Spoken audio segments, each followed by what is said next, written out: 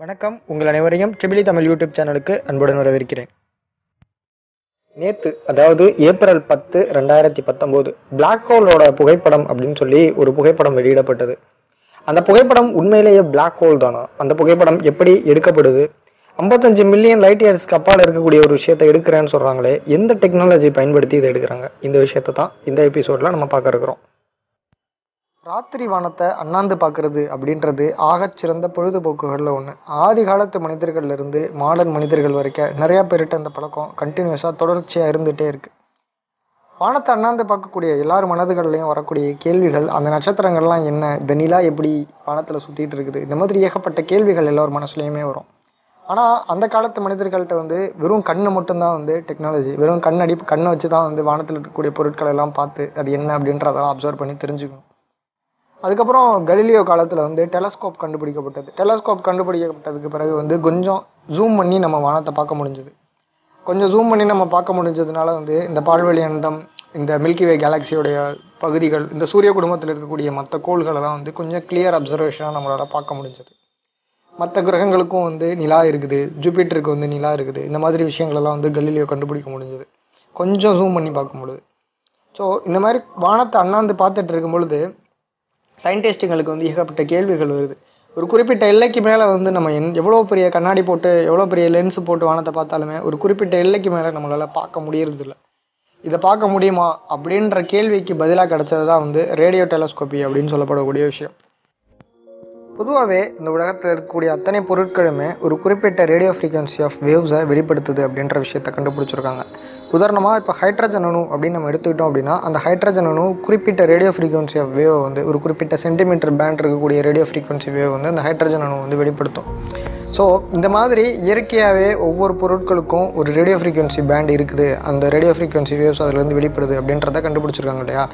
So அந்த radio frequency வேவை நம்ம observe பண்ணி அந்த பொருளோட இமேஜை வந்து ரீகன்ஸ்ட்ரக்ட் பண்ணுறோம் ரீகன்ஸ்ட்ரக்ட் இந்த சென்ஸ் வந்து அது அந்த பொருளோட முன்ன பின்ன கீழே மேலே அந்த பொருளை அப்படியே சுற்றி வளைச்சி அதிலிருந்து வரக்கூடிய ரேடியோ வேவ்ஸை ஃபுல்லாக நம்ம அப்சர்வ் பண்ணிட்டோம் அப்படின்னா ரேடியோ வேவ் வந்து எந்த இடத்துல கூட குறைச்சலாக வருது எந்த இடத்துல அதிக செறிவோடு வருது எந்த இடத்துல செறிவு கம்மியாக வருது எந்த எல்லைகளுக்கு உட்பட்டு ரேடியோ வேவ்ஸ் வந்து வருது அப்படின்றது எல்லாத்தையும் நம்ம தெரிஞ்சுக்கிட்டோம் அப்படின்னா அந்த அமைப்பை வச்சுட்டு இன்டென்சிட்டி அதிகமான இடத்துல அதிகமாக ரேடியோ வேவ் ரிசீவ் ஆகிற இடத்துல ஒளி அதிகமான பரப்பாகவும் ரேடியோ வேவ்ஸ் கம்மியாக வர பரப்பை வந்து ஒளி குறைவான பரப்பாகவும் நம்ம வந்து ஒரு இமேஜாக ரீகன்ஸ்ட்ரக்ட் செய்ய முடியும்.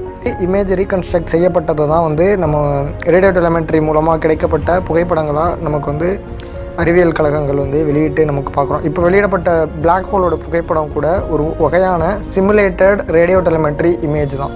இது வந்து ரியல் ஃபோட்டோகிராஃப்லாம் கிடையாது.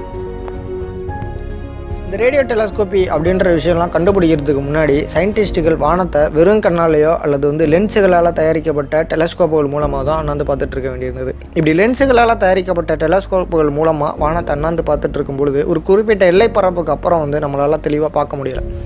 நம்மளுடைய பால்வழி அண்டம் அப்படின்னு சொல்லப்படக்கூடிய மில்கி வே கேலக்சியில் அதாவது இருபத்தாறாயிரம் லைட் இயர்ஸுகளுக்கு அப்பால் ஒரு பரப்பில் நட்சத்திரங்கள் வந்து கண்ணுக்கே தெரியாத ஒரு ஆப்ஜெக்டாக சுற்றி வந்துட்டு இருக்குது அப்படின்ற மாதிரி சயின்டிஸ்ட்டுகள் வந்து கவனிக்கிறாங்க. வானியல் அறிஞர்கள் வந்து இதை அப்சர்வ் பண்ணுறாங்க பதினாறு வருஷமாக இதை அவங்க கவனிச்சிட்டு இருக்கிறாங்க. இது வந்து உண்மையிலேயே கண்ணுக்கு தெரியாத பரப்பை தான் சுற்றி வந்துட்டு இருக்குதா இல்லை நம்ம கண்ணுக்கு தான் அது தெரியலையா? அப்படின்னு சொல்லி பதினாறு வருஷமாக இந்த விஷயத்தை அப்சர்வ் பண்ணிகிட்டே இருக்காங்க. கண்ணுக்கு தெரியாத ஒரு விஷயத்தை தான் சுற்றிட்டு இருக்குது அப்படின்றத வந்து அவங்க கண்டுபிடிக்கிறாங்க. இந்த கண்ணுக்கே தெரியாத விஷயம் என்னவா இருக்கும்? இதை ஜூம் பண்ணி பார்க்க முடியுமா? அப்படின்ற மாதிரி சயின்டிஸ்ட்டுகள்லாம் யோசிச்சுட்டே இருக்காங்க. இந்த மாதிரி அவங்களுடைய யோசனைக்கு கிடைச்ச பதில் தான் வந்து ரேடியோ டெலஸ்கோப்பி விஷயத்தை நம்ம இந்த இடத்துக்கு நம்ம அப்ளை பண்ணி பார்க்கலாம். அது அந்த தூரத்தில் என்ன இருக்குது அப்படின்றது நமக்கு தெரியும் அப்படின்ற மாதிரியான முடிவுக்கு அவங்க வராங்க. இந்த கண்ணுக்கு தெரியாத விஷயம் கண்டிப்பாக பிளாக் ஹோலாக தான் இருக்கும் அப்படின்ற ஒரு ஹைப்போதிசிஸோட ஒரு அமைப்பு நிறுவப்படுது. இஹெச்டி அப்படின்னு சொல்லப்படக்கூடிய ஈவெண்ட் ஹாரிசான் டெலஸ்கோப் அப்படின்ற ஒரு அமைப்பு ஷெப்பர் டோரெமான் அப்படின்ற ஒரு தலைமை விஞ்ஞானி தலைமையில் ஒரு நியமிக்கப்படுது. இதில் இரநூறு விஞ்ஞானிகள் கிட்ட பணிபுரிய ஆரம்பிக்கிறாங்க. இது ரெண்டாயிரத்தி ஆறில் தன்னுடைய முதல் தகவலை வந்து வானத்திலிருந்து கலெக்ட் பண்ணுது. ஸ்டார்டிங்கில் இது வந்து ஒரே ஒரு டெலஸ்கோப் அப்சர்வேட்டரி அந்த மாதிரி தான் இருந்தது. காலப்போக்கில் நிறையா டெலஸ்கோப் அப்சர்வேட்டரிஸ் எல்லாரையுமே எல்லாத்தையும் வந்து இதை க்யூர் பண்ணுது. எட்டு டெலஸ்கோப் அப்சர்வேட்டரி இருந்தது. இந்த கடைசியாக அந்த பிளாக் ஹோலோட புகைப்படம் அப்படின்னு அவங்க வெளியிடும் பொழுது எட்டு பிளாக் எட்டு டெலஸ்கோப் அப்சர்வேட்டரிஸ் வந்து இந்த ஈவெண்ட் ஹாரிசான் டெலஸ்கோப்போட இணைஞ்சு தகவல்கள் கொடு கொடுத்துட்டு இருந்தது. ஃப்யூச்சரில் வந்து இந்த எட்டு அப்படின்றது வந்து இன்க்ரீஸ் செய்யப்படலாம். இந்த அதிகமாக நம்ம இந்த டெலஸ்கோப்பு டெலஸ்கோப்புகளோட எண்ணிக்கையை அதிகப்படுத்தும் பொழுது நம்மளோட இந்த பேஸ் லைன் இன்டர்ஃபெரோமெட்ரி அப்படின்னு சொல்லப்படக்கூடிய அந்த தகவல்களை கலெக்ட் பண்ணி அது மூலமாக இமேஜை ரீகன்ஸ்ட்ரக்ட் பண்ணுற அந்த தெளிவு அந்த கிளாரிட்டி இன்னும் கொஞ்சம் கூட அதிகரிக்கும் அப்படின்றதுனால ஃப்யூச்சரில் அதிகப்படுத்தப்படலாம் அப்படின்ற மாதிரி நான் நினைக்கிறேன். எட்டு இடத்துல நிறுவப்பட்ட அந்த டெலஸ்கோப்புகள் அத்தனையுமே வந்து சிங்க்ரனைஸ் செய்யப்பட்டிருக்கும். சிங்க்ரனைஸ் இந்த சென்ஸ் ஒன்று லெஃப்ட்டில் திரும்பினா எல்லாமே லெஃப்ட்டில் திரும்பும். ஒன்று ரைட்டில் திரும்பினா எல்லாமே ரைட்டில் திரும்பும். ஒன்று வந்து ஒரு குறிப்பிட்ட டிகிரியை ஃபோக்கஸ் பண்ணுச்சுன்னா எல்லாமே அந்த குறிப்பிட்ட டிகிரியை தான் ஃபோக்கஸ் பண்ணும். அந்த மாதிரி அந்த எட்டு லொக்கேஷன்ஸில் இருக்கக்கூடிய அத்தனையுமே வந்து ஒரு குறிப்பிட்ட ஒரு அட்டாமிக் கிளாக்கால் சிங்க்ரனைஸ் செய்யப்பட்டிருக்கும். டைமிங் டிஃப்ரென்ஸ் இருக்கக்கூடாது அப்படின்றதுனால அட்டாமிக் கிளாக் அவங்க பயன்படுத்துகிறாங்க எல்லாமே வந்து அட் அ டைமில் ஒரே டிகிரி அந்த டிகிரிலாம் கூட ரொம்ப முக்கியம். ஏன்னா பல தொலைவு பல கிலோமீட்டர் தொலைவுகளுக்கு அப்பால் இருக்கக்கூடிய ஒரு விஷயத்தை அவங்க ஃபோக்கஸ் பண்ணுறாங்க அப்படின்றதுனால டிகிரிஸ்லாம் வந்து ரொம்ப கான்சென்ட்ரேட் பண்ணணும். அதனால அட்டாமிக் கிளாக்கை பயன்படுத்தி சிங்க்ரனைஸ் செஞ்சுருக்காங்க இந்த கான்செப்ட்டுக்கு பேர் என்னன்னு கேட்டால் very long base line interferometry அப்படின்னு சொல்கிறாங்க எல்லாமே வந்து ஒரு குறிப்பிட்ட frequency of wave wavelength of radio waves வந்து அப்சர்வ் பண்ணும். எல்லாமே ஒரு குறிப்பிட்ட டேரக்ஷனை ஃபோக்கஸ் பண்ணும். இது வந்து ரியல் டைமாக ஒரு டெலஸ்கோப் கிடையாது. இது வந்து ஒரு விர்ச்சுவல் டெலஸ்கோப் அப்படின்னு சொல்லலாம். இந்த டெலஸ்கோப்புகள் மூலமாக ரிசீவ் செய்யப்படக்கூடிய ரேடியோ சிக்னல்ஸை பூஸ்டர்ஸ் ரேடியோ சிக்னல் பூஸ்டர்ஸ் அப்படின்னு சொல்லப்படக்கூடிய ஆம்ப்ளிஃபையர்ஸ் மூலமாக சிக்னல் ஆம்ப்ளிஃபை செய்யப்பட்டு அந்த சிக்னல்ஸில் எந்த சிக்னல் கிளாரிட்டியோட இருக்குது அப்படின்றதெல்லாம் கண்டுபிடிச்சி அந்த சிக்னலை மட்டும் பர்டிகுலராக செலக்ட் பண்ணி எடுத்துக்கிட்டு அந்த சிக்னல்ஸோட இன்டென்சிட்டியை பயன்படுத்தி அந்த சிக்னல்ஸை வந்து இமேஜாக கன்ஸ்ட்ரக்ட் பண்ணுறதுக்கு ஒரு அல்காரதம் ரைட் பண்ணியிருக்காங்க. அந்த அல்காரிதத்தின் அடிப்படையில் வந்து இந்த சிக்னல்ஸ் எல்லாமே வந்து ரீகன்ஸ்ட்ரக்ட் செய்யப்படும் இமேஜஸாக ரியல் டைம் ஃபோட்டோகிராஃப் அப்படின்னு சொல்ல முடியாது. இது வந்து கம்ப்யூட்டர் பேஸ்டு ரீகன்ஸ்ட்ரக்டட் இமேஜ் அப்படின்னு தான் சொல்லுவோம்.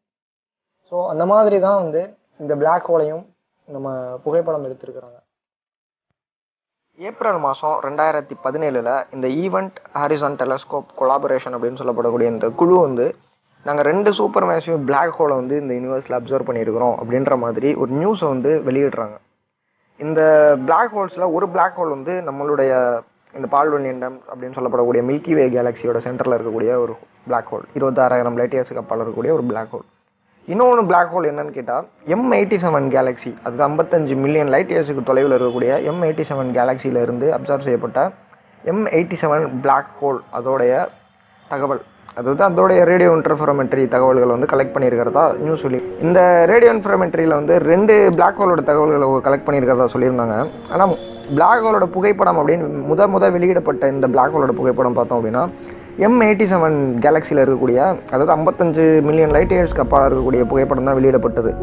ஏன் இவங்க வந்து நம்ம பக்கத்துலேயே இருக்கக்கூடிய இருபத்தாறாயிரம் லைட் இயர்ஸ்க்கு அப்பால் இருக்கக்கூடிய மில்கிவே கேலக்சியிலேருந்து எடுத்த புகைப்படத்தை வெளியிடலை? இந்த கேள்வி எனக்கு வந்தது.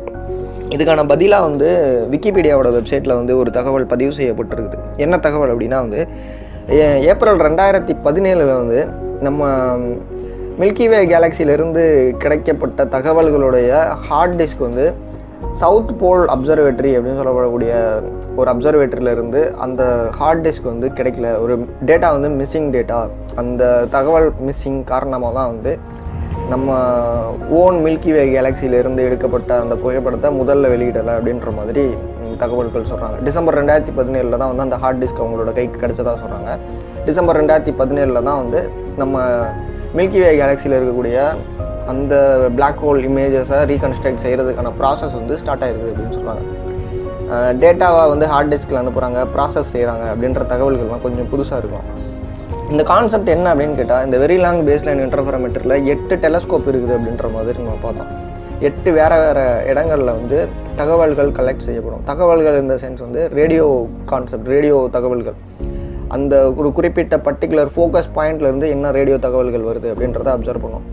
அப்ராக்சிமேட்டாக ஒரு நைட் ஸ்கையை முழுமையாக அந்த ரேடியோ தகவல்கள் கொண்டு அப்சர்வ் பண்ணி டிஜிட்டல் சிக்னல்ஸை மாற்றி ஹார்ட் டிஸ்கில் ஸ்டோர் பண்ணி வச்சோம் அப்படின்னா one petabyte of data வந்து தகவல்கள் கொண்ட ஒரு தகவல் வந்து நமக்கு கிடைக்கும். ஒன் பெட்டாபைட் அப்படின்றது வந்து ஒன் மில்லியன் ஜிகாபைட் அப்படின்னு சொல்லலாம். ஒரு டெலஸ்கோப் ஒரு நைட் ஸ்கை அப்சர்வ் பண்ணுச்சு அப்படின்னா ஒன் பெட்டாபைட் ஆஃப் டேட்டா கிடைக்குது. அதாவது ஒன் மில்லியன் ஜிபி கிடைக்குது. எட்டு இடத்துல இருக்கக்கூடிய இந்த எட்டு அப்சர்வேட்டரிஸ்ல இருந்தும் தகவல்கள் சேகரிக்கப்பட்டு ஹார்ட் டிஸ்கில் வந்து பதிவு செய்யப்படும். மில்லியன்ஸ் ஆஃப் ஜிபியை வந்து நம்ம இன்டர்நெட் மூலமாக டிரான்ஸ்மிட் பண்ணுறது வந்து கஷ்டமான காரியம். அது மட்டும் இல்லாமல் இப்போ இருக்கிற ஸ்பீடுக்கு வந்து இது சாத்தியமற்ற விஷயம். அதன் காரணமாக என்ன பண்ணுறாங்கன்னு கேட்டால் இந்த ஹார்ட் டிஸ்க்குகள் அத்தனையும் வந்து ஒரு ஒரு இடத்துக்கு வந்து குவிக்கப்படுது. கலெக்ட் செய்யப்பட்டு ஒரு இடத்துக்கு கொண்டு வரப்படுது. ஏரோப்ளைன்ஸ் மூலமாக கொண்டு வராங்க. ஏரோப்ளைன் மூலமாக இந்த தகவல்களை பரிமாற்ற இந்த ஒரு மெத்தடை வந்து இவங்க என்ன சொல்கிறாங்க ஸ்னீக்கர் நெட் அப்படின்ற ஒரு செல்லமான பெயரால் அழைக்கிறாங்க. இந்த ஸ்னீக்கர் நெட் மூலமாக இந்த ஹார்ட் டிஸ்க்குகள் அத்தனையும் வந்து இரண்டு இடங்களுக்கு வந்து காப்பீஸ் கொடுக்கப்படுது. அதில் ஒரு இடம் வந்து அமெரிக்காவில் இருக்கக்கூடிய பாஸ்டன் யூஎஸில் இருக்கக்கூடிய பாஸ்டன் அப்படின்ற ஒரு இடம் ஜெர்மனியில் இருக்கக்கூடிய போன் அப்படின்ற ஒரு இடம். இந்த ரெண்டு இடத்துல தான் வந்து இந்த இஹெச்டியோடைய சென்ட்ரல் ப்ராசஸிங் யூனிட்ஸ் இருக்குது. சென்ட்ரல் ப்ராசஸிங் யூனிட் அப்படின்றது வந்து எண்ணூறு சிபியூஸ் கொண்ட ஒரு மேசிவ் சூப்பர் கம்ப்யூட்டர் இந்த சூப்பர் கம்ப்யூட்டர் என்ன பண்ணுன்னு கேட்டால் இந்த தகவல்கள் கிடைக்கப்பட்ட தகவல்கள் ஒவ்வொரு பர்டிகுலர் இன்ஸ்டன்ட் ஒவ்வொரு பர்டிகுலர் நொடிகள் செகண்ட்ஸில் கிடைக்கப்பட்ட இந்த தகவல்கள் அத்தனையும் வந்து ஒவ்வொரு டேட்டாவாக ஃபில்டர் பண்ணி பார்க்கும் இதில் எது வந்து அதிக கிளாரிட்டி கொண்ட இமேஜாக இருக்கோ அது எது அதிக கிளாரிட்டி கொண்ட அந்த ரேடியோ சிக்னலாக இருக்குதோ அந்த சிக்னலை எடுத்துக்கிட்டு அது மூலமாக ஒரு ஒரு ஸ்பெஷலைஸ்டு அல்காரதத்தை யூஸ் பண்ணி அந்த இமேஜை வந்து ரீகன்ஸ்ட்ரக்ட் பண்ணும் இந்த ப்ராசஸிங்கோட ஸ்பீட் நம்ம பார்த்தோம் அப்படின்னா நாற்பது ஜிகா பிட்ஸ் பெர் செகண்ட் ஸ்பீடில் வந்து இந்த கம்ப்யூட்டர் ஆப்ரேட் ஆகிறதா சொல்கிறாங்க இப்படி ரீகன்ஸ்ட்ரக்ட் செய்யப்பட்ட அந்த இமேஜை தான் வந்து நம்ம மொத மொதல் பார்க்குறோம். நம்மளுடைய பிளாக் ஹோல் நம்மளுடைய ஓன் கேலக்சியில் இருக்கக்கூடிய அந்த பிளாக் ஹோலோட இமேஜ் வந்து இவங்களுக்கு ப்ராசஸிங் ஸ்டார்ட் பண்ணது டிசம்பர் ரெண்டாயிரத்தி பதினேழுல ஸ்டார்ட் பண்ணதாக சொல்கிறாங்க ஸோ இன்னும் ஒரு ஒரு ஏப்ரல் இன்னும் ஒரு கொஞ்சம் சில மாதங்களில் வந்து இந்த நம்மளுடைய மில்கிவே கேலக்சியிலிருந்து எடுக்கப்பட்ட பிளாக் ஹோலுடைய புகைப்படமும் வெளியிடப்படலாம் அப்படின்ற மாதிரி நான் நினைக்கிறேன். இப்போது இந்த வீடியோவை வந்து நம்ம கன்க்ளூட் செய்யலாம். பிளாக் ஹோல் அப்படின்னு சொல்லி வெளியிடப்பட்டிருக்கிற இந்த புகைப்படம் உண்மையிலேயே பிளாக் ஹோலோட புகைப்படம் தானா? ஒரு வடை மாதிரி ஒரு ஃபோட்டோ போட்டிருக்காங்க. வடையில் இருக்கிற நடுவில் இருக்கிற ஓட்டை மாதிரி பிளாக் ஹோல் இருக்குது. ஸோ உளுந்த வடையில் இருக்கிற ஓட்டை தான் பிளாக் ஹோல் அப்படின்ற கண்மூடித்தனமான ஒரு கற்பனை முடிவுக்கு நம்ம வரக்கூடாது. இப்போ உண்மையிலேயே இது பிளாக் ஹோலோட புகைப்படம் தானா? அப்படின்ற கேள்வி நம்ம அணுகலாம். பிளாக் ஹோல் அப்படின்றது என்ன அப்படின்னு கேட்டால் ஒரு கொஞ்சம் பரப்பில் அதிக மாஸ் கொண்ட பொருள் அக்யூமுலேட் ஆகும் பொழுது அது பிளாக் ஹோலாக மாறுது. எப்படின்னு கேட்டால் அதுக்கு வந்து ஒரு சின்ன இடத்துலையவே நம்மளுடைய மொத் ஒட்டுமொத்த கேலக்ஸியும் ஒரு புள்ளியில் அடைக்கிறோம் அப்படின்ற மாதிரி கற்பனை செஞ்சு பார்த்துக்கோங்க. அந்த மாதிரி ஒரு சின்ன இடத்துலையவே அதிகமான மாஸ் அக்யூமுலேட் ஆகும் பொழுது அதோட கிராவிடேஷனல் புல் வந்து பல மடங்கு அதிகமாகுது. அது மட்டும் இல்லாமல் அந்த ஆப்ஜெக்ட் நமக்கு கண்ணுக்கு தெரியாமல் இருக்குது. இதன் காரணமாக தான் அதை வந்து நம்ம பிளாக் ஹோல் அப்படின்னு சொல்லி சொல்கிறோம் இப்போ நம்மளுடைய சூரியனோட கிராவிட்டிக்கு உட்பட்டு நம்மளுடைய சூரிய குடும்பத்தில் இருக்கக்கூடிய கோள்கள் அத்தனையும் வட்டப்பாதையில் சுற்றி வர்ற மாதிரி அந்த பிளாக் ஹோலுடைய ஈர்ப்பு விசைக்கு உட்பட்டு அதோடைய ஒரு குறிப்பிட்ட எல்லைப்பரப்புக்கு வெளியில் ஒரு பொருள் போச்சு அப்படின்னா வந்து ஒரு வட்டப்பாதையை சூஸ் பண்ணி சுற்ற ஆரம்பிக்கும். அந்த எல்லை அந்த ஈர்ப்பு எல்லைக்கு உள்ளே போகும் பொழுது அது அந்த பிளாக் ஹோலால் ஈர்க்கப்படும். அந்த எல்லைப்பரப்புக்கு வெளியில் நிற்கும் பொழுது அது ஒரு வட்டப்பாதையில் சுற்ற ஆரம்பிக்கும். அந்த வட்டப்பாதையில் ஒளி கூட தப்பிக்க முடியாது. ஈவன் லைட் கூட அந்த கிராவிடேஷனல் புல்லுக்கு பக்கத்தில் போச்சு அப்படின்னா வட்டமடிக்கும் அப்படின்ற மாதிரிலாம் சொல்கிறாங்க ஸோ இந்த மாதிரி அந்த எல்லை பரப்பு ஈர்ப்பு எல்லையை வந்து என்ன பேரில் குறிக்கிறாங்கன்னு கேட்டால் ஈவெண்ட் ஹாரிசான்னு சொல்லி குறிக்கிறாங்க. இந்த ஈவெண்ட் ஹாரிசானில் நிறையா ஸ்டார்ஸு ஏகப்பட்ட ஸ்டார்ஸு ஏகப்பட்ட ஃபயரி திங்ஸ் எரியக்கூடிய பொருட்கள் நிறையா வந்து வட்டம் அடிச்சிட்டு இருக்குது அந்த மாதிரி எம் எயிட்டி செவன் கேலக்சியில் இருக்கக்கூடிய அந்த பிளாக் ஹோலை சுற்றி நிறையா ஒளிரக்கூடிய பொருட்கள் நிறையா வட்டம் அடிச்சிட்டு இருந்தது அந்த ஒளிரக்கூடிய அமைப்புகளை தான் வந்து இந்த ரேடியோ டெலிமெட்ரி மூலமாக புகைப்படமாக எடுத்துருக்குறாங்க. இந்த புகைப்படம் அப்படின்றது வந்து பிளாக் ஹோலோட புகைப்படம் அப்படின்ற மாதிரி நம்ம வெளிப்படையாக சொல்லிட முடியாது. இது வந்து அந்த பிளாக் ஹோலுக்கு எல்லைகளுக்கு உட்பட்ட ஒரு அவுட்லைன் மாதிரி போட்டு கொடுத்துருக்காங்க. அந்த வட்டத்துக்குள்ளே பிளாக் ஹோல் எங்கே வேணாலும் இருக்கலாம். பிளாக் ஹோல் வந்து சின்னதாக கூட இருக்கலாம். நம்ம சித்தாந்தத்தின் அடிப்படையில் வந்து ஒரு சின்ன இடத்துல அதிகமான மாஸ் அக்யூமுலேட் ஆகும்போது தான் பிளாக் ஹோல் ஃபார்ம் ஆகுது. அந்த அடிப்படையில் நம்ம சிந்திச்சு பார்த்தோம் அப்படின்னா அதிகமான கிராவிடேஷனல் புல் இருக்கணும் அப்படின்னா வந்து சின்ன இடத்துல அதிகமான மாஸ் அக்யூமுலேட் ஆனால் தான் வந்து பிளாக் ஹோல் வந்து பயங்கர மாசிவாக இருக்கும். நம்ம நினைக்கிற மாதிரி பெருசாக இருந்தால் தான் அது வந்து ஈர்ப்பு சக்தி அதிகமாக இருக்கும் அப்படின்ற மாதிரியான கற்பனைகளுக்குள்ளே போகணும்னு விஷயம் இல்லை. சின்னதாக இருந்தாலே அதோட ஈர்ப்பு அதிகமாக இருக்க முடியும் அப்படின்ற பாயிண்ட்டை சொல்கிறதுக்காக இந்த பாயிண்ட்டை நான் சொல்கிறேன் ஸோ இது வந்து பிளாக் ஹோலோட புகைப்படம் கிடையாது. இது வந்து ஒரு அவுட்லைன் அந்த அவுட்லைனுக்குள்ளே அந்த நடுவில் இருக்கிற பாயிண்ட்டில் பிளாக் ஹோல் எங்கே வேணாலும் இருக்கலாம். பிளாக் ஹோலுடைய பரப்பு அப்படின்னு சொல்லி இவங்க ஒரு புள்ளி விவரம் சொல்கிறாங்க நாற்பது பில்லியன் கிலோமீட்டர் அக்ராஸ் ஆகிருக்கும் அப்படின்ற மாதிரி. ஸோ இந்த வட்டத்தில் இருக்கக்கூடிய அந்த வெளிப்பகுதி எல்லாமே நாற்பது மில்லியன் கிலோமீட்டரா அப்படின்னு கேட்டால் பிளாக் ஹோல் வந்து அந்த வட்டத்தில் எங்கே வேணாலும் இருக்கலாம். மேபி இவங்க நாற்பது மில்லியன் கிலோமீட்டர் அக்ராஸ் அப்படின்ற மாதிரி ஒரு கெஸ் ஒர்க் பண்ணியிருக்காங்க மேபி அதை விட சின்னதாக கூட அது இருக்கிறதுக்கான வாய்ப்புகள் இருக்குது அப்படின்றது என்னோட கருத்து. பிரசல்ஸில் நடந்த ப்ரெஸ் கான்ஃபரன்ஸில் வந்து ஒரு விஞ்ஞானி அந்த இஹெச்டியில் இருக்கக்கூடிய ஹென்கோ ஃபால்கி அப்படின்ற விஞ்ஞானி வந்து ஒரு வார்த்தை சொல்கிறாரு it feels like looking at the gates of the hell the end of the space and time அப்படின்ற மாதிரி ஒரு வார்த்தை சொல்கிறாரு இந்த வார்த்தைக்கு என்ன அர்த்தம் அப்படின்னு கேட்டால் நரகத்துடைய கேட் வா கேட்டை வந்து நம்ம பார்க்குறோம் அப்படின்ற மாதிரியான அர்த்தத்தில் அவர் சொல்கிறாரு எண்ட் ஆஃப் த ஸ்பேஸ் டைமை நம்ம வெளியில் நின்று வேடிக்கை பார்க்குறோம் அப்படின்ற மாதிரி. ஸோ இது வந்து பிளாக் ஹோலோட புகைப்படம் கிடையாது. அந்த ஈவெண்ட் ஹாரிசனுக்கு சுற்றி வரக்கூடிய ஃபயர் பால்ஸோடைய வட்டப்பாதையை தான் அவங்க கேட்ச் பண்ணி கேப்சர் பண்ணி நமக்கு புகைப்படமாக கொடுத்துருக்காங்க. இந்த வட்டப்பரப்பில் சென்டரில் பிளாக் ஹோல் எங்கே வேணாலும் இருக்கலாம் அப்படின்றது தான் இவங்களோட கருத்துமே கூட. இந்த புகைப்படம் நமக்கு என்ன சொல்ல வருது அப்படின்னு கேட்டால் கண்டிப்பாக பிளாக் ஹோல்ன்ற ஒரு விஷயம் இந்த பிரபஞ்சத்தில் இருந்தே தீரும் அப்படின்னு சொல்லி தியரட்டிக்கலாக இருந்த ஒரு விஷயத்த ஒரு ப்ரூஃபாக இவங்க சொல்லியிருக்கிறாங்க. இது வந்து கண்டிப்பாக பிளாக் ஹோல் தான் அப்படின்ற மாதிரி ஒரு ஆணித்தரமாக பிளாக் ஹோல் வந்து கண்டிப்பாக நம்ம யூனிவர்ஸில் இருந்தே தீரும் அப்படின்ற ஒரு முடிவை இவங்க வந்து வெளியிட்டிருக்காங்க. இந்த முடிவுக்கு ஆதாரபூர்வமாக ஒரு புகைப்படம் வெளியிடப்பட்டிருக்குது. அவ்வளோதான் இந்த வீடியோ உங்களுக்கு பிடிச்சிருந்தா லைக் பண்ணுங்க. பிடிக்கலன்னா டிஸ்லைக் பண்ணுங்கள் உங்களோட நண்பர்களுக்கு இந்த வீடியோ பயனளிக்கிற மாதிரி இருக்கும் அப்படின்னு நீங்கள் நினைச்சீங்க அப்படின்னா உங்களோட நண்பர்கள் மத்தியில் அந்த வீடியோ ஷேர் பண்ணிக்கோங்க. நம்மளுடைய சேனலுக்கு இன்னும் நீங்கள் சப்ஸ்கிரைப் பண்ணாமல் இருந்தால் மறக்காமல் சப்ஸ்கிரைப் பண்ணுங்கள் பக்கத்தில் இருக்கிற பெல் ஐக்கானை சேர்த்து கிளிக் பண்ணிடுங்க. புதிய வீடியோக்களை உடனுக்குடன் பெறுவதற்கு அது உங்களுக்கு உதவியாக இருக்கும். நன்றி.